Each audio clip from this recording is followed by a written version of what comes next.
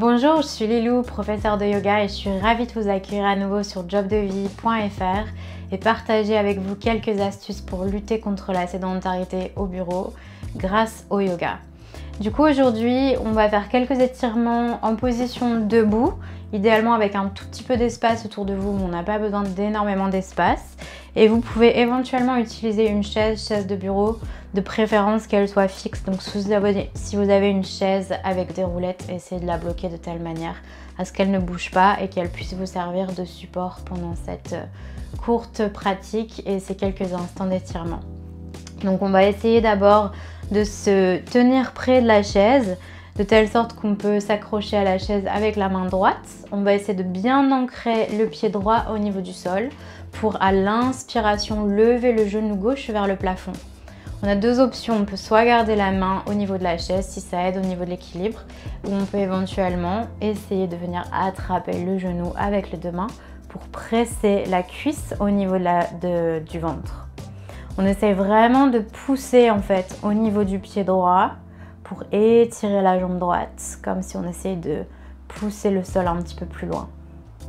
Et ensuite, on peut venir replacer la main droite au niveau de la chaise, la main gauche de la même manière et on va pivoter le pied droit de telle sorte qu'on fait face au dos de la chaise.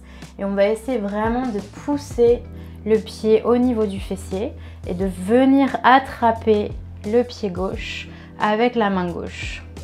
Donc on peut rester ici si ça paraît déjà assez intense au niveau étirement. Si vous avez envie de jouer un petit peu davantage avec l'équilibre, vous pouvez essayer de pousser le pied gauche à l'intérieur de la main gauche et de pencher la poitrine un petit peu plus vers l'avant.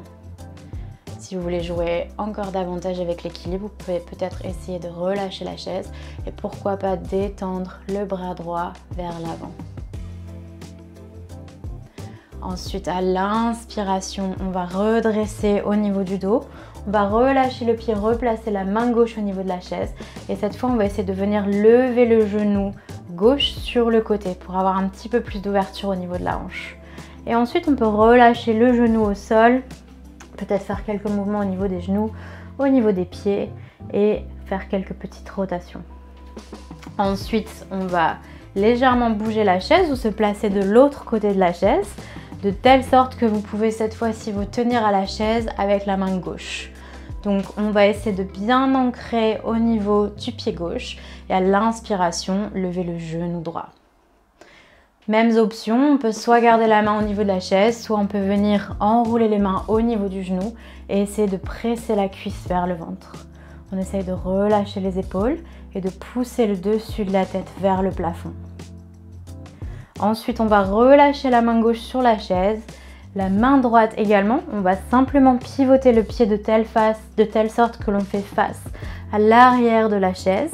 Et on va essayer de venir attraper le pied droit avec la main droite. On a les mêmes options. Si ça vous paraît déjà intense au niveau étirement, vous pouvez vous en tenir là. Ou vous pouvez éventuellement essayer de tenir le pied vers l'intérieur et de presser le pied à l'intérieur de la main en essayant d'étirer la poitrine vers l'avant. On essaie d'engager au niveau des fessiers et pour jouer davantage avec l'équilibre, on peut essayer d'étirer le bras gauche vers l'avant. Position du danseur. À l'inspiration, on peut se redresser, placer la main gauche sur la chaise, la main droite et on va relever le genou droit sur le côté cette fois pour aussi créer cette sensation d'ouverture au niveau de la hanche. Ensuite, on peut relâcher le genou au sol et avoir un bref mouvement au niveau des pieds et au niveau des chevilles. Encore une fois, un exercice relativement simple que vous pouvez pratiquer au bureau ou dans un espace si vous travaillez de la maison ou vous avez une chaise de préférence stable. J'espère que ces conseils vous ont été utiles et vous aideront à lutter contre la sédentarité. Et je vous dis à très bientôt pour de nouvelles astuces. Prenez soin de vous.